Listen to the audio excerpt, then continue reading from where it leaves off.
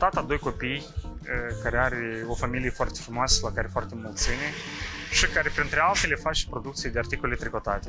Am început meseria asta, am început din România, de prin 2005, când am început să lucrez pentru o producție uh, germană, uh, iar din 2010 am venit în Republica Moldova și de atunci că sunt aici.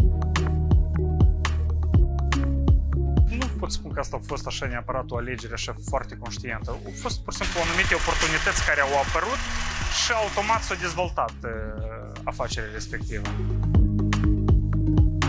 Noi ne străduim, toată echipa noastră, ne străduim să fim atenți la toate, tot ce ține de feedback. Și când merge vorba de un feedback bun, să nu ne amețăm și să ne ridicăm și să uităm că trebuie să menținem un nivel, iar când se întâmplă un feedback negativ, să mai întâmplă, să vedem, să învățăm ceva din asta.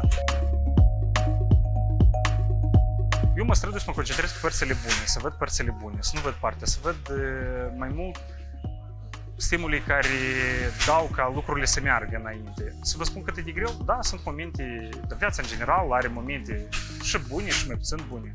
Trebuie să fim optimiști în ceea ce faci, trebuie să fim optimiști, probabil. Altă chestie că tot un aspect, omul face locul, nu locul face pe om. Nu știu dacă există o rețetă de, pentru succes. Nu, nici nu știu dacă e corect că uh, trebuie uh, să fim atât de mult axați și concentrați numai către succes. Pentru că într-o oarecare măsură asta și e o presiune. Omul contemporan, dacă bunii noștri trecut prin războaie și așa mai departe, la noi cred că e mai multă presiunea asta, că trebuie să știi tot timpul la anumite Trebuie să fii tu însuși. Asta e important. Și atunci tu cu siguranță a să atingi succesul și profesional, și familiar, și din toate punctele de vedere.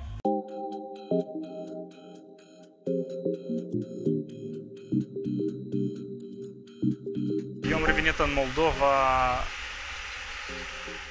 datorită insistențelor so soției. Atunci nu era soția. Adică la o anumită etapă noi eram împreună, eram în România și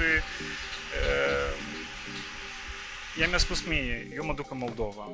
Tu poți să alegi, poți să vii cu mine sau poți să rămâi în România. Și am venit în Moldova. Asta, asta a fost, de fapt, eu mă simțeam destul de bine acolo, eu vroiam să rămân acolo, dar uh, factorul determinant a fost uh, decizia care atunci era prieten, acum soția. Moldova este casa mea. Casa, casa ți-o iubești. Dacă există gânduri de plecare, da, uneori există gânduri de plecare. Sunt așa mai Ce mă oprește? Uh, familia.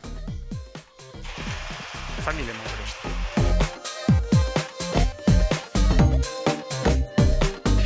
Consider un fericit, dar cred că se poate și trebuie de atins lucrurile respective și și nu, nu ne permite să ajungem fericirea sunt nu mediul din de extern, sunt anumite neajunsuri, anumite greșeli a noastre interioare.